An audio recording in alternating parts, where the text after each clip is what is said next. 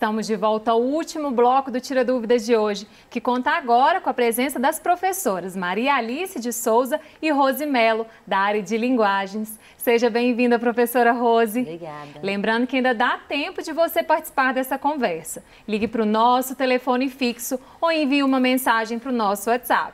Estamos esperando a sua participação. Enquanto você manda mais dúvidas para a gente, vamos relembrar as aulas da professora Rose.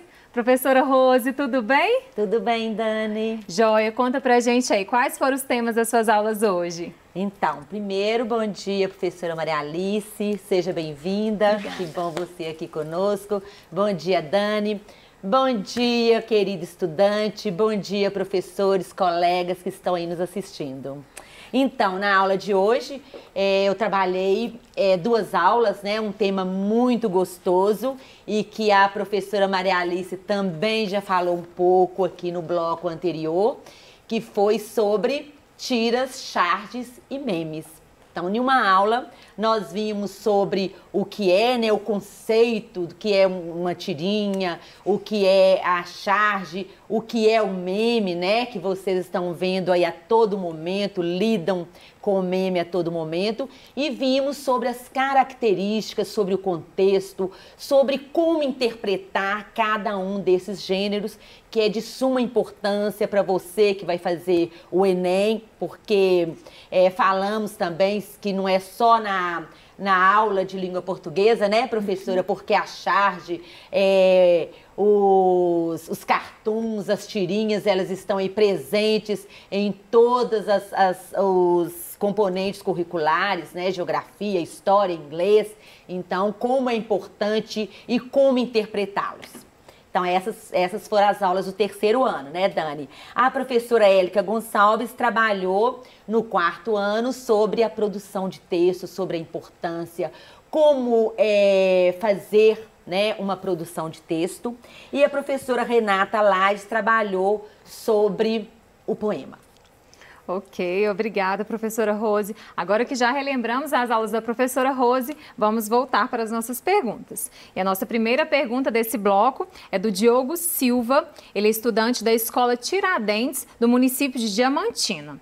Professora Rose, você fala que para interpretar a charge e o meme é importante o contexto histórico. Pode explicar? O Magno até falou disso no, no bloco passado, Isso, né? né, Dani? Viu como todos nós, né, e o português é assim, né, professora? A gente sempre fala, o Magno acabou de falar ali com a professora, e a professora sobre um pouco sobre esse contexto. Primeiro, oi, Diogo, que bom que você está aí participando conosco. Um beijo e para Diamantina, lógico, né? Então, é isso mesmo.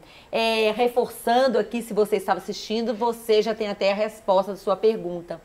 Porque é de suma importância o contexto que estamos vivendo.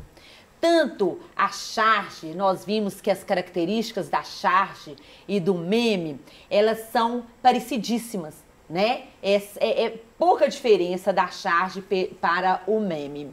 E é isso mesmo, é o que você está vivendo no momento. Por exemplo, agora tem vários memes e várias charges sobre a Covid. Por quê? Porque estamos vivendo este momento. Daqui anos, né, décadas, ao ler essa mesma charge, ela, per, ela vai perder um pouco a graça. Por quê? Às vezes, gente que não viveu esse momento como nós, nem vai entender. Ou às vezes vai entender, mas não causa humor.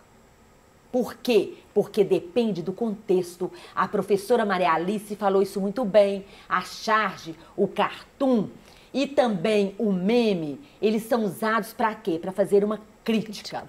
E a charge e o meme, eles são temporais. É o que está no momento. Então, este momento, é, eu dei o exemplo, por exemplo, do futebol. Né? O que, que nós estamos vivendo agora? Então, as charges e os memes que saem com os jogadores que estão é, participando do campeonato agora, todo mundo vai entender. Por quê? Porque estamos vivendo este momento, porque estamos assistindo os jogos. Então, este contexto, Diogo, é importantíssimo para você interpretar uma charge? Para você interpretar um meme. Porque a charge, é, os cartoons, as tirinhas, às vezes precisa da sua interpretação. A interpretação está entre linhas. E este contexto vai te ajudar nessa interpretação. Ok? Ok, entendido aí, né, Diogo? Vamos voltar para o nosso telão? A nossa próxima dúvida é uma dúvida de oitavo ano. Professora Maria Alice, o que é técnica da pirâmide invertida? E como isso se aplica na notícia? Ah, eu vou usar o telão então. Pode posso? ficar à vontade. Então vamos um lá. Olha, é, a pirâmide invertida, ela vai, ela é realmente, nós vamos ver que nós temos aqui é uma técnica, né? Então nós vamos ver a estrutura da pirâmide. Então tem ali, né? A, a manchete, o lead que vai responder o que, quem, onde, quando, como e porquê, né? É, e aí nós vamos ter ali o corpo da notícia e aí nós vamos observar o seguinte: os assuntos é mais relevantes eles vão aparecer primeiro e depois é, nós vamos ter detalhes. Então aqui, né? Então por exemplo, eu tenho aqui, né? A manchete ela vai estar tá aqui, e aí eu tenho o lead. Aí o lead responde, né? É o primeiro parágrafo. Então, o que, como, quem, quando, por quê. Então, quando você lê o primeiro parágrafo de uma notícia, você já tem todas aquelas informações relevantes. E depois você vai tendo mais informações detalhadas que vão acrescentando ali para a sua leitura. Então, é por isso que a gente chama de pirâmide invertida, porque a base, né, o que é mais relevante, vem aqui e depois a gente vai tendo mais detalhes. Ok? Obrigada, professora. Deixa eu apagar aqui. Vamos para a próxima. Nossa próxima dúvida é uma dúvida de quarto ano. Professora Rose, como deve ser a organização de um texto? Isso, ok, então, né? Então, como que um texto deve ser organizado? Isso é importante é, para todo aluno, né? Então, isso é uma pergunta do quarto ano, dos anos iniciais, porque a partir do momento que você começa a produzir um texto, é importante que você saiba que para produzir um texto é preciso ter a introdução, o desenvolvimento e a conclusão, né? Então, o que, que tem nessa introdução? Então, a introdução tem o que você vai falar naquele texto, né? A sua produção de texto, a ideia principal está ali naquela introdução. Sempre é, mês para você, né, que é do quarto ano, todo parágrafo ele possui uma ideia principal. Então, naquela introdução, você precisa desenvolver, tem a ideia principal e as ideias secundárias. Então você tem um tema geral e você vai desenvolvê-lo na introdução, no desenvolvimento, naquele desenvolvimento que você vai falar. Né? O que, que vai ter nesse desenvolvimento? Quais as perguntas que você precisa responder naquele desenvolvimento? Você precisa argumentar o seu texto é o quê? É um texto argumentativo? Se for um texto argumentativo, é aquele texto que vai ter a sua opinião. Então, nesse desenvolvimento, você vai colocar estes dados né? Enriquecer, vai falar por que, que é a sua opinião. Você gosta? Você é a favor? Por que você é a favor? Então é no desenvolvimento. E o que você coloca na conclusão? A conclusão é o quê? É onde você vai concluir o seu pensamento. Então você retoma a ideia principal que você colocou lá na introdução e você fecha. A conclusão é onde você vai fechar. Lá na sua introdução, você pode começar com uma frase interrogativa ou você pode terminar a sua introdução com uma frase interrogativa, mas no desenvolvimento você precisa responder aquela pergunta. Agora na conclusão não, na conclusão você vai fechar, você vai concluir o seu pensamento. Então, o seu texto precisa de ter introdução, desenvolvimento e conclusão. Obrigada, professora Rose. Nossa próxima dúvida também é para você. É da Chayane Emanuele. Ela é estudante do quinto ano da Escola Estadual São Vicente de Paulo, no município de Juiz de Fora. A Chayane quer saber o seguinte: poderia explicar novamente sobre o poema? Oi, Chayane, um beijo para você, um beijo para Juiz de Fora. Que boa essa pergunta, né? Você trabalhou hoje sobre o poema.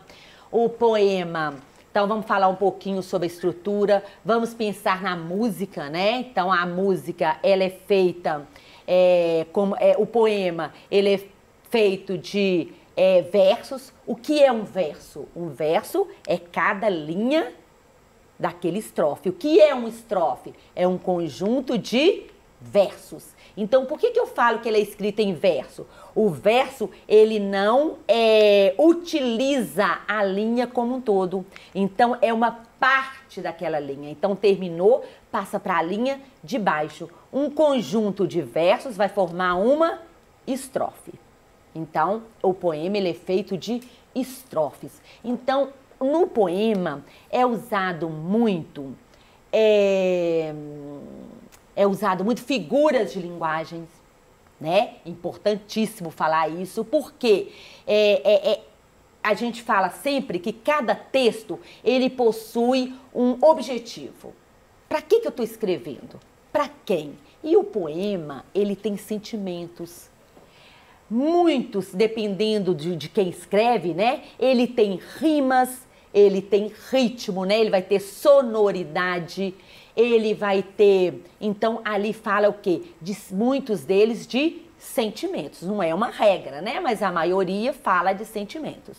Então, um poema, você lembra das músicas, né? Ele tem muito, então ele tem versos, estrofes, ele pode ter rimas, que é o que, que é rimas? São as palavrinhas que terminam com o mesmo som. Então, tem rimas e tem ritmo. Ok, vamos para a próxima. A nossa próxima dúvida agora é uma dúvida de sexto ano. Professora Maria Alice, qual a diferença de tirinha e história em quadrinhos? Olha, a tirinha é uma narrativa mais curta. Normalmente ela vai ter três, quatro né, quadrinhos. Agora, o, a história em quadrinhos é uma narrativa mais longa, com mais personagens, né? Então, é, basicamente é essa a diferença. E aí nós estamos lembrando aqui, né, das histórias em quadrinho Turma da Mônica, né, que tem, né, é, uma, aquele conflito, aquela trama, né? E as, e as tirinhas, elas são mais curtas, né? Uma narrativa mais curta. Ótimo, vamos para a próxima. Nossa próxima dúvida agora é uma dúvida de quinto ano. Professora Rose, o que é sentido figurado? Então, eu até falei um pouquinho né, do, do sentido figurado. E estamos trabalhando muito, é, porque é, quando tiro sentido figurado é aquele que, acontece quando nós temos a linguagem conotativa, né, professora? Uhum. E isso é muito importante trabalhar em quais os textos você é, pode usar a figura de linguagem. Por quê? A figura de linguagem é quando, é, quando um texto tem figuras de linguagens, ele tem inúmeras interpretações. Eu interpreto de uma maneira, a professora interpreta de outro. Por quê? Porque a figura de linguagem nos dá essa possibilidade. Não é isso, professora? Então você encontra muito em músicas, em uhum. poemas, né? Por isso que fala assim, é, o que o autor quis dizer? O que ele quis dizer é depende do contexto histórico, por quê? Porque ali pode ter a ironia, pode ter a metáfora, pode ter é, o pleonasmo. Então, são várias figuras de linguagem, são inúmeras. Então, sentido figurado é aquela palavra é, que o autor usa para dar sentido, para enriquecer aquele poema, aquele texto que ele está escrevendo. E onde. É, encontramos mais figuras de linguagens num texto publicitário, né? Na, nas Sim. propagandas, uhum. nos poemas, nas músicas. E para isso você precisa de saber, por isso que nós falamos que é uma interpretação entre linhas, porque você precisa descobrir ali o que é aquele poema, aquela música, aquela figura de linguagem, é, qual é o sentido naquele contexto. Né? Então é importantíssimo o contexto em que está vivendo, o contexto histórico, o seu conhecimento prévio para você interpretar um texto que haja, que tenha é, figuras é, de linguagem. Rose, e é interessante a gente observar que, por exemplo, a notícia. A notícia, ela não pode ter, né, é, essas várias interpretações. Por isso a linguagem é objetiva, porque na direta. direta, clara, porque na notícia todo mundo tem que entender a mesma coisa. Já o meme, a charge, a tirinha, o poema, a leitura está aberta a várias interpretações. Justamente porque tem esse, essa, essa figura de linguagem, esse sentido figurado, hum. né, professora? Excelente, professoras. A nossa próxima dúvida é da Sofia. Ela é estudante de, da Escola Estadual José Bonifácio Nogueira, do município de Ribeirão das Neves. Professora Maria Alice, qual a diferença entre notícia reportagem e entrevistas. Então, Sofia, obrigada pela pergunta. Ótima pergunta. Então, vamos lá. Notícia, reportagem e, e entrevista. entrevista. Olha, a notícia ela está muito relacionada ao nosso cotidiano, ao nosso dia a dia. Vimos que a notícia tem essa intenção de informar, né? E são aqueles assuntos do, do dia a dia, como se fosse um diário. Né? Então nós temos ali a notícia, ela costuma ser mais curta e ela é objetiva porque nós queremos aquela informação de conhecimento, né? Público, né? De interesse público. A reportagem, ela é mais longa, né? Então, ela, ela vai trazer mais elementos. É, às vezes vai aparecer um, um, infográfico, ela pode ter partes né, de uma entrevista. Então, a reportagem ela traz mais detalhes. E a reportagem, necessariamente, ela não está relacionada ao assunto do dia. Né? Então, pode ser é, um, um tema que merece um, um detalhamento, um, um, estudo mais aprofundado. Né? Agora, ali, ah, tem uma coisa na reportagem. Se a notícia ela é bem objetiva, a reportagem ela pode ter ali né, o, o quê de persuasão do, do, do repórter. É, pode acontecer. Né? Então, a reportagem ela tem essa questão uh, mais do detalhe. Agora, a outra é a entrevista. entrevista. Olha, a entrevista é um gênero de perguntas e respostas. Então, normalmente nós temos a entrevista tanto escrita como né, a, a, televisiva, né, em que se pergunta, né, o entrevistador ele pergunta algo e a pessoa entrevistada vai responder ali, né? Essas, as perguntas podem ser, às vezes, Uh, Manda-se a pergunta antes, a pessoa fica sabendo, pode ser. Igual existem talk shows, né? Que é entrevista, né? Pergunta e respostas ali ao vivo, né? Mas é basicamente a pergunta e a resposta. E também, né, professora, é importantíssimo a gente falar, é, deixar bem claro que a notícia, ela é temporal. Né? Aconteceu, noticiou. O que é notícia hoje pode não ser notícia, notícia amanhã. amanhã. E a reportagem, ela é mais longa e uma coisa muito importante é que ela tem a opinião, a opinião ela tem citação. Né? Pode, pode ter citações é. É, de, e, e ouve os dois lados, né? tanto do que aconteceu e de quem está é, aqui e ali, porque ela não é naquele momento, como a professora mesmo falou. Por isso ela é mais longa, porque aconteceu hoje e é, é importante, é, é, importante virar uma reportagem. Então aquela pessoa, ela tem, o, o repórter, ela tem é, mais tempo, tempo, né? Mais tempo, tempo para procurar os envolvidos né? E escrever uma reportagem. Então, ela tem imagens, ela tem é, citações. Então, essa é, é, e ela é atemporal. Não precisa ser hoje. Aconteceu, virou reportagem hoje. Então, essa é uma característica importantíssima das duas. Obrigada. Professora Rose e professora Maria Alice. A nossa próxima dúvida agora é para a professora Rose, é uma dúvida de terceiro ano. Professora Rose, charges e memes têm as mesmas características? Quase, né? Quase. Então vamos voltar aqui. É, a professora Maria Alice falou muito já da charge, não é isso? Da atualidade, da crítica.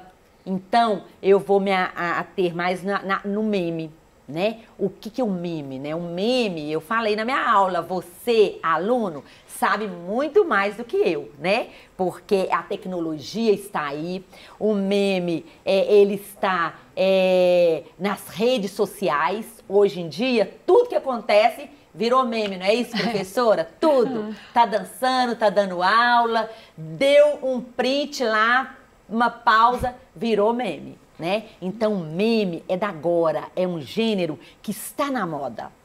Então, um, uma das características importantíssimas do meme é a intertextualidade. Uhum. Então, você precisa conhecer, ter um conhecimento prévio daquela imagem, por exemplo, para você entender o que aquele meme quer dizer. Às vezes tem um cantor, se você não conhece o que aquele cantor, é, como ele dança, ou o que, que tem na música dele, você não, não entende aquele meme. Né? Eu dei uma, uma vários exemplos aqui de seriados, né? Que tudo virou meme, mas você precisa conhecer. Mas é, é, as características elas são bem parecidas, né? Você precisa da atualidade, você precisa ter um conhecimento prévio para você fazer uma, uma interpretação tanto da charge quanto do, do meme, mas o meme tem a intertextualidade que você precisa é, conhecer, né? Eu dei até é, exemplos da, da novela, né? Vários é, exemplos da, da Renata, que virou meme, mas só vai entender quem assistiu a novela, né? Quem não assistiu não vai entender. Então as características são bem parecidas. É, passa daqui um tempo o meme que ontem ele estava em todas as redes sociais. Às vezes uma característica é, é, a circulação, né? O meme, ele por que, que ele espalha rápido? Porque o meme, ele é próprio da, das redes sociais. Então aconteceu, virou meme chegou para mim, eu gostei, aí passa para outro grupo e aí todo mundo, por isso que a gente fala que é, é, o meme ele espalha numa velocidade assustadora. E às vezes a charge ela tá no, no jornal, né, onde que é a circulação, pode até estar na, na televisão, nas redes sociais, mas muito menos do que um meme. É. É, eu quero acrescentar que, é, como Rose falou, o meme tem essa, essa, essa situação da intertextualidade e do remix. Então, muitas vezes, né, a gente pega ali, né, uma, um artista e um, né, numa determinada postura, um comportamento, aí eu tenho uma frase que viralizou, que foi muito compartilhada. Então o meme é muito marcado por esse remix, né? Então a gente precisa dessa intertextualidade, a gente percebe que aquela peça foi manipulada, né? Porque é muito comum a gente ver, né, uma determinada artista e aí muda a frase. Ou às vezes vem uma frase que a gente já conhece, aí muda né, a personagem, né? Então o meme tem essa questão do manipular, né? Por esse remix. Por isso que meme significa essa imitação, uhum. né, professora? É justamente, às vezes, uma figura, ela é, tem inúmeros memes com a mesma figura. figura. Então, né? por isso, a intertextualidade. O que é intertextualidade? É você ter um texto original, uma imagem original, onde são criados vários textos em cima daquela imagem ou daquele texto. É a ligação, né? Então tem um texto aqui e você usa para fazer a intertextualidade, para criar outro texto. Por isso o meme é, é, usa-se muito essa imitação, essa intertextualidade. Com certeza. Vamos lá para a próxima. Nossa próxima dúvida é uma dúvida de sétimo ano. Professora Maria Alice, como surgiu o teatro? Olha, o teatro ele surge na Grécia Antiga, século VI a.C., e ele tinha a ver com rituais é, ao deus mitológico Dionísio. Então ele surge nessa, nessa situação, né? Que o Dionísio era o, o deus do vinho, da diversão. E então é nessa, nesse contexto que o teatro vai surgir. Ok, obrigada. Vamos para a próxima. Nossa próxima dúvida agora, professora Rose. Professora Rose, cite algumas etapas para se construir um bom texto. Tá. Eu já até falei aqui um pouquinho, né, professora? Então, para você é, construir um bom texto, a primeira coisa é o bom é que você tem um conhecimento prévio daquele tema que você vai escrever. Então você, claro, cada um é, tem uma maneira, tanto na leitura, o professor falou aqui muito é, bem no, no, no, bloco anterior, né? Tanto a leitura como a escrita, o estudar, o aprender, depende de cada pessoa, como ele se sente melhor. Né? Então, para você produzir um texto, o bom é que naquele tema você tem um conhecimento prévio. Você adquire conhecimento prévio? É com sua vida, a sua experiência, com viagens, com boas leituras, né? O dia a dia você é, adquire conhecimento prévio sobre vários temas, sobre vários assuntos. Então, é bom que você, é, tendo tempo, depende do seu tempo também, depende se você tem uma prova, se é o Enem, né? Se é da professora, então que você faça um rascunho, que você coloque ali as suas ideias. Você precisa de ter uma introdução, um desenvolvimento e uma conclusão. Então isso é importante que você tenha, que você escreve, que você faça um rascunho antes. Mas depende de cada pessoa, de cada estudante. Obrigada, professora Rose. Estamos chegando ao final do Tira Dúvidas de Linguagens. Ficou alguma dúvida? Acesse o aplicativo Conexão Escola e envie sua pergunta diretamente para o seu professor. Eu quero lembrar que o acesso ao aplicativo é gratuito e não consome os dados da sua internet. Você pode consultar também o seu PET, o plano de estudo tutorado que está disponível gratuitamente para download no nosso site estudeemcasa.educação.mg.gov.br. E claro, você pode assistir quantas vezes quiser as nossas aulas nas plataformas digitais. Eu agradeço a presença das nossas professoras, os nossos professores que estiveram com a gente hoje, dos intérpretes de Libras e principalmente a sua participação. Um grande abraço e continue assistindo a nossa programação. Até amanhã!